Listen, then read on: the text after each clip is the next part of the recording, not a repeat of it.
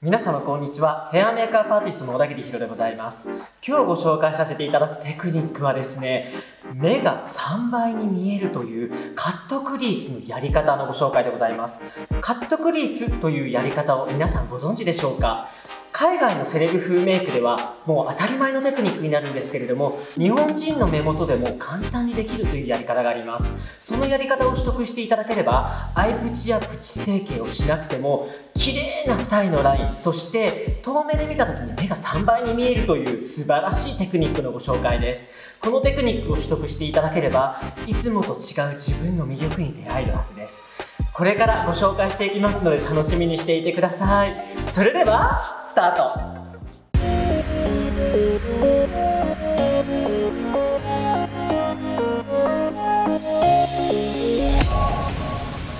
それでは今日はットクリースというやり方をご紹介したいと思います。カットクリースというとやはりこう海外のハリウッドセレブがやってるようなあんなダブルラインくっきりみたいなちょっと目元印象強いんじゃないの的な感じで見てる方多いんじゃないでしょうか。でも実は日本人のこの平たい顔族の方でもとっても素敵にこう立体的にねカットクリースができるというやり方がありますので今から事細かにご紹介をしていきます。YouTube で出ているようなカットクリースのやり方はやはりこう日常的ではなくなんか人事のように見てしまう方多いんじゃないでしょうか。でも今日は日常で落とし込めるイケてるカットクリスのやり方ご紹介しますので楽しみにしててください。っていうか今からやります。じゃあ早速始めたいと思います。まず、えーアイシャドウのベースなんですけれども本来カットクリースというのはベースはもう真っ白にしてキャンパスにしてから色をつけていくんですけれども今日は日常的に使えるっていうこととより持ちが良くするために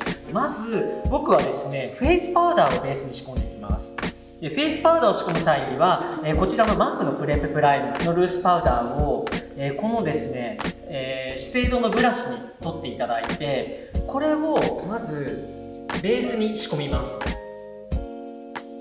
色は出ません、えーこの後にですねいろんなアイテムが乗るのでまずパウダーでしっかりと皮脂を吸着していきます。でこうしていただいた後にですね、えここから色をのせていくんですけれども、えこの色というのはまぶたに若干くすみがあります。でこのくすみというのは彫りとして活かしておきたいので、コンシーラーを使わずにこの上から色をのせるんですが今日使うのはこちらのクリオのパレット。こちらのアイシャドウパレットになります。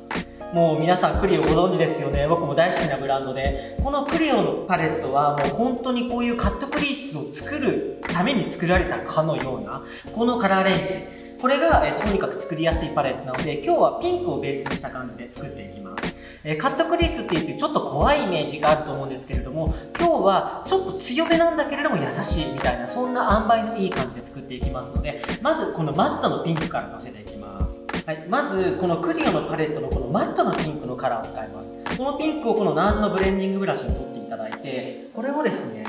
えこのカットクリースっていうのはこのクリースっていうのはくぼみのことを言います。このくのところをカットするっていうことでカットクリースっていうネーミングが付けられてるんですけれどもまず色をこのクリースの部分だけでグラデーションを作っていきま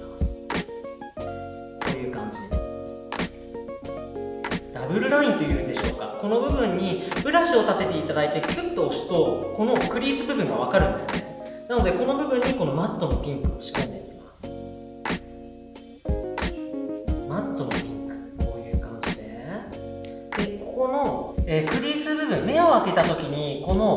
ぶたの上に出るぐらいの幅で上に入れていきます。でここからですねブラシを持ち替えていただいてこのアイシャドウブラシでこの濃い方のブラウンをつけていきます。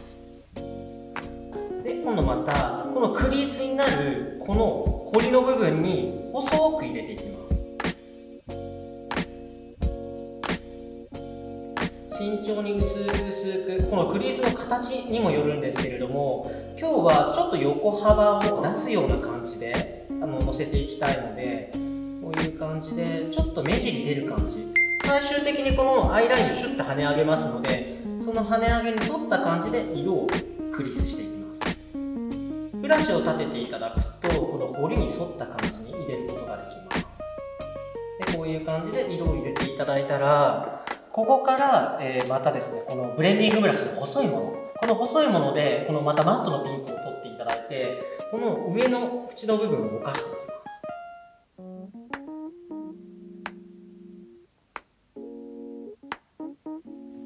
ます。そして今度はですねこの目の下にものせていくんですけれどもこのマットのピンクをシャドーブラシに取っていただいてこのまぶた全体に今度はこういう感じで色を入れていきます。そしてここからが本番といっても過言ではございませんの。こっからこのボビーブラウンのコンシーラーを使ってしっかりとクリース感を出していきます。まず手の甲にこうやって取っていただくのもいいんですけれどもまずですねまぶたを閉じていただいてちょんちょんとこの目をまず開けていただきます。開けていただいて目を閉じます。そうするとこの上の方に幅が広がりますのでここからコンシーラーブラシでぼかしていきます。これはもうちょっとずつ色を入れていくんですけれどもこういう感じで中央から少しずつ広げていくような感じでクリース感を出していきます。このクリースの幅はダブルラインに入れたこのダブルのラインの上のところまで入れていきます。アバウトに広げていただいたらアバウトに入れた後に綺麗にコンシーラーブラシでクリースを作っていきます。もうね時間かけません。こういう感じでさっさっさっていう感じでクリース作る時ってやっぱりなんか1時間とかかかったりする方いるん。ですけれどもコンシーラーブラシをねこういう感じで横に振りながらしていただくと今クリース感出てるの分かりますか？コンシーラーで今ベースを塗りつぶしていきました。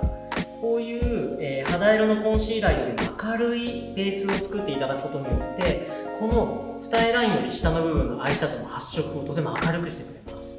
す。でここからこのグリッターをのせていきます。このグリッターはピンクのラメが入っている、えー、グリッターなのでちょっとピンクニュアンスが出ます。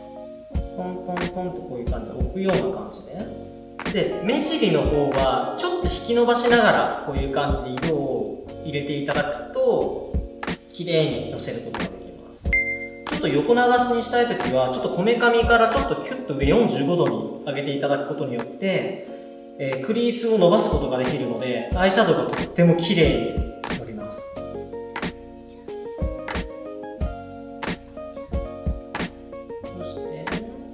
目頭もちょっと出たところ次はシャドーラインですね。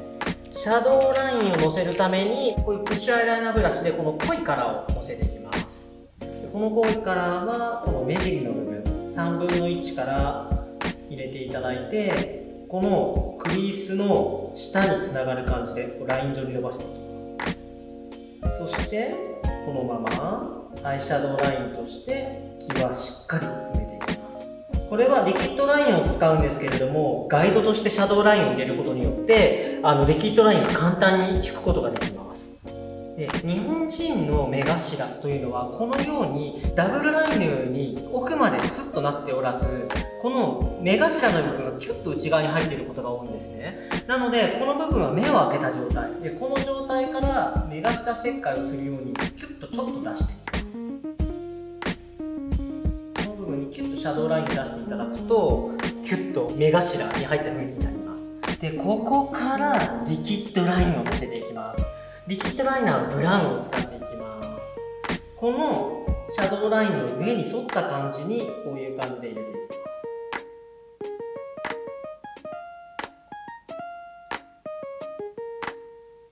ます。喋らなきゃこういう感じでリキッドラインをシャドーラインの上に重ねる感じで。太さは出さなくて OK です。もうねシャドーラインで太さが出てるのでここはリキッドラインを細く入れていただくとよりちょっとソフトな感じとグラデーションができるのでより目元がね綺麗に見えます。そしてこの目頭旋回もちょんって感じで。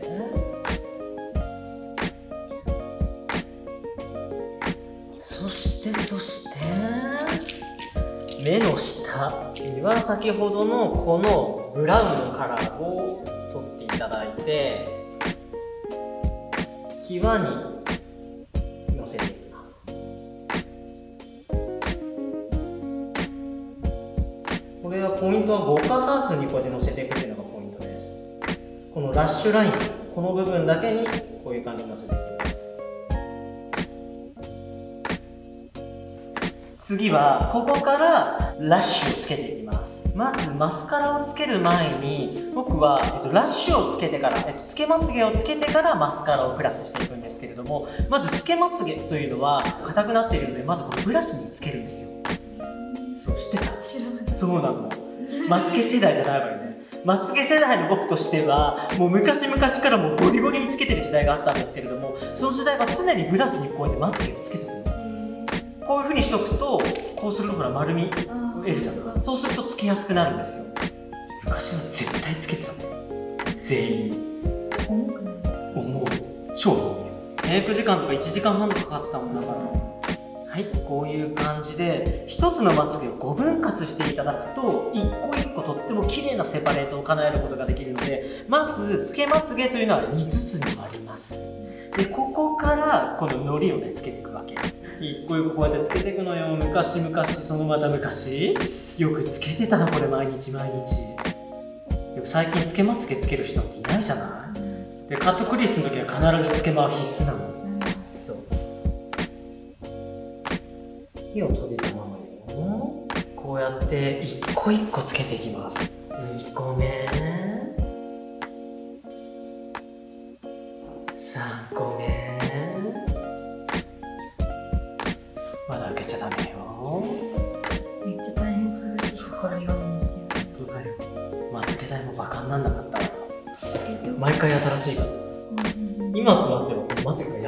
昔は若干高かった。えー。そうなの。中学生ぐらいの時うん。100均で買いました。本当？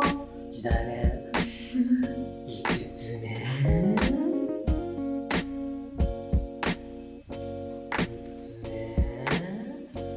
まだよこの間にちょっと眉毛したってこうかしら。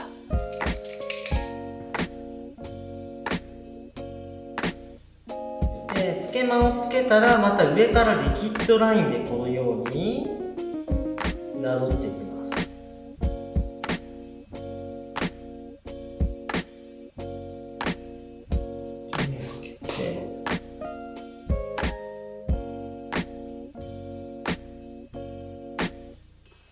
そしてマスカラはこちらのナーズのこのなんかタイヤみたいな太いやつ。これゴン太のやつなんですけれどもこれはまつげをきれいにセパレートしてくれるすごく優秀なマスカラなので、えーこのねつけまつげをつけた下から少しずつこのように足していきます。こうすると地まつげとつけまつげが一体化してすごい綺麗なまつげに仕上げることができます。でスクリューブラシが太いんですけれども実はこれ下まつげにも使いやすいんです。地まつげとこのつけまつげを一体化させるために爪のこの腹の部分でスクリューブラシでこうやって溶かし上げてベースでつけたマスカラと一体化させていきます。こういう感じで爪に押し当てていくんですね。そうすると地まつげとつけまつげが一体化してつけまつげが自然に見えます。じゃあ次はインサイドにこちらのホワイトパールのライナーを入れていきます。このホワイトパールのライナーが入ることによって目元がねもっと大きく見えるっていう効果があります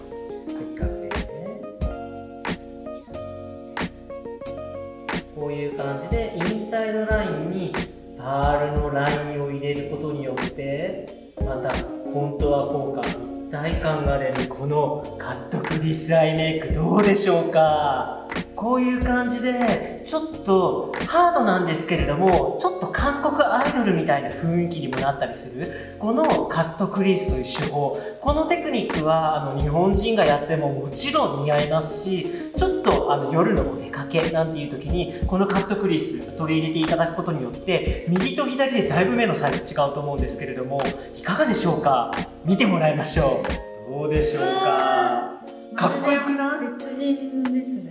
そう。でもなんかこうまた違った自分うん、発見ね。そうなの。たまにはねこういうちょっとカットクリスという手法を取り入れていただくことによっていつもと違う自分エッジの効いた自分を引き出すことによってまた新たな人生開けちゃうんじゃないの？っていう感じで今日のテクニックはですねちょっと細かかったんですけれどもこういうカットクリースっていう手法は、まあ、海外のあのハリウッドセレブだったりとかあのそういうちょっと LA スタイルみたいな感じで結構ねアジア圏でもこういうメイキャップっていうのは流行ってますので韓国系のアイドルなんかのあの目元とか見ていただくと結構クリーズ入ってる人すごく多いんですよ。でこういうねちょっとトレンディーなあトレンディーってちょっと古い？あのトレンド感があるこういったあのカットクリスをねこう取り入れていただくことによってトレンド感マックスっていうような雰囲気も醸し出すことができますのでぜひトライをしてみてください。